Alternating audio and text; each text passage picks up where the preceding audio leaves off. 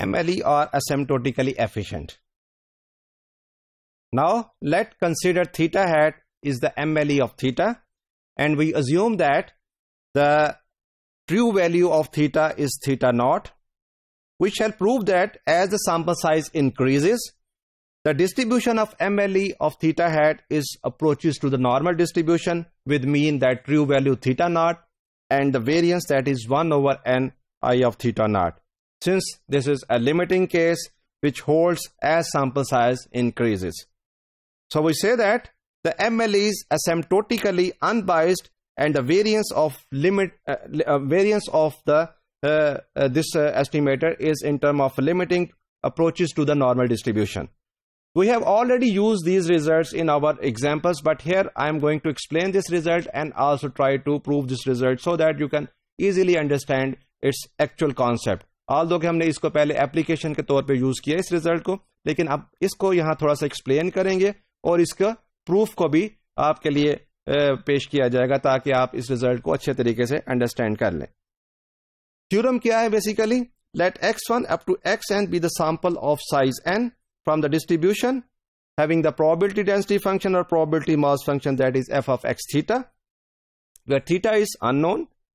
assuming that the true value of theta is theta naught and the MLE of theta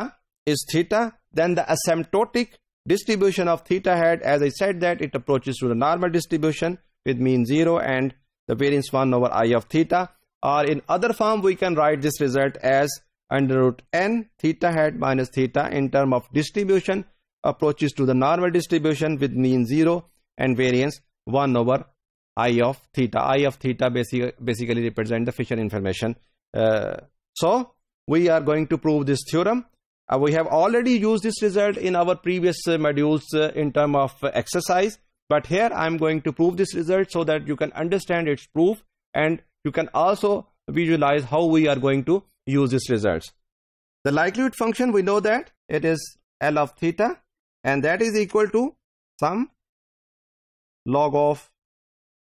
f of xi theta and theta hat we know that the solution of theta hat basically is the L dash theta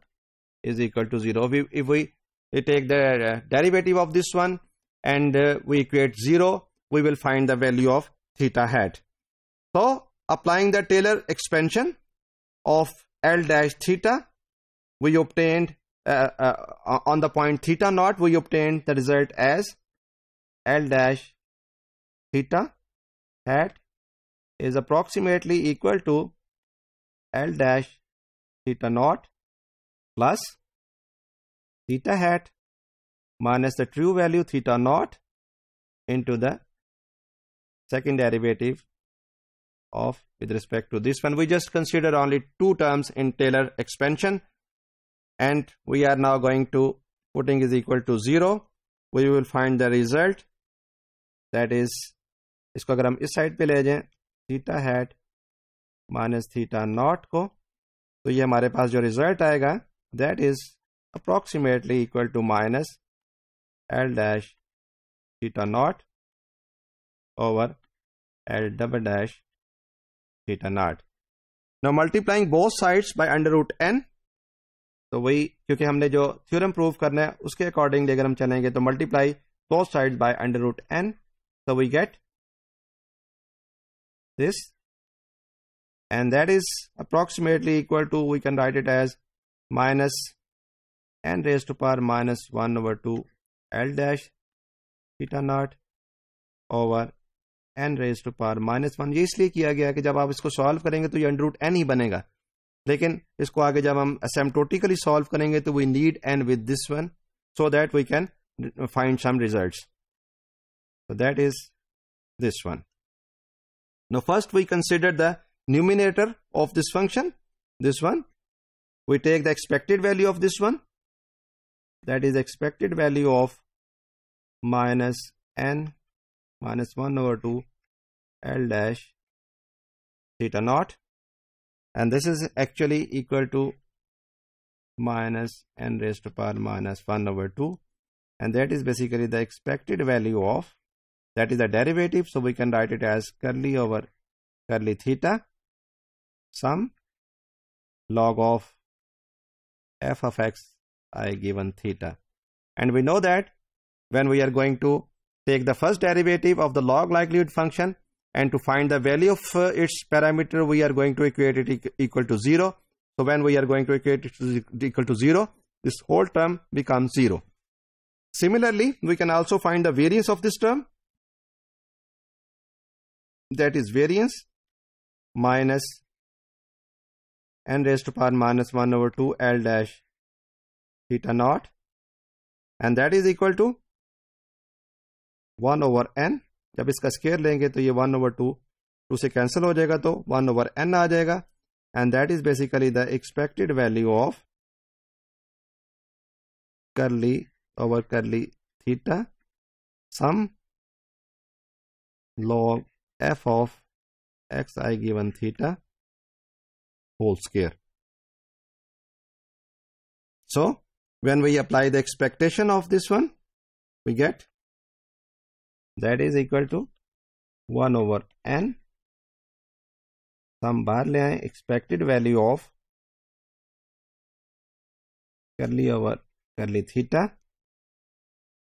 log of f of xi given theta whole square. And this is basically equal to 1 over n into sum expected value of l dash theta whole square. So this is basically ये sum is n से cancel हो जाएगा। basically इसका जो square है we have already proved this that is representing i of theta naught. Now consider the denominator term that is actually 1 over n L double dash into theta naught that is basically equal to 1 over n sum theta square over uh, curly square over theta square that is log of f of xi given theta. Now, if we apply the law of large number, and we take the expected value of this term, we know that the expected value of this one curly to our curly theta square log of f of xi given theta so that will be equal to minus i of theta naught. Thus when we are going to put these results in our actual quantity that is basically under root n into theta hat minus theta naught which is approximately equal to that is n raised to power minus 1 over 2 L dash into theta naught over let's say I just put the result that is I of theta naught ये minus जो इसके साथ minus था उससे cancel out हो जाएँगे। तो that is basically equal to ये जो हमारे पास ये रिजल्ट्स था। अगर इसकी दोनों साइड्स की एक्सपेक्टेशन लें तो ये रिज़ल्ट जो होगा basically expected value of